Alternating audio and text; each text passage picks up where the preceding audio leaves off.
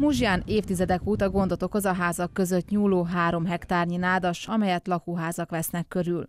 A falunak a központjában ez az érnádas problémát jelent, ugyanis a kellemes hűvös, amit a nyári estéken szokott nyújtani a nádas közelsége, ugyanakkor az itt lakók számára óriási gondot is jelent, a szúnyogoktól nem lehet megmaradni. A nagybecskereki Karitász úgy döntött, a tettek mezeire lép az ügyben. Pályázatok útján jutottak támogatáshoz. Az osztrák, a német, a román, a cseh társult ebbe, hogy ezt, ezt finanszírozza a költségeket.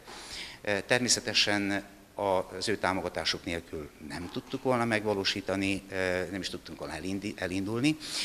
Viszont nagyon nagy szükség van az önkéntesek munkájára. A muzsaiak sokszor úgy érzik, hogy nem részesülnek kellő támogatásban. A terület megtisztítását már korábban is elkezdték volna. Szeretjük volna az önkormányzatnak az anyagi támogatásával az elmúlt évtizedek folyamán megvalósítani, azonban nem, tart, nem kaptunk rá anyagi eszköz támogatást erre, és van gondviselés is. Úgy érzem, hogy a Caritas rá eszmélt arra, hogy mit jelent a, a, az egészséges környezet. A közel 40 ezer eurós támogatásnak és az önkéntes munkának köszönhetően a három hektárnyi területen 800 facsemetét ültetnek el.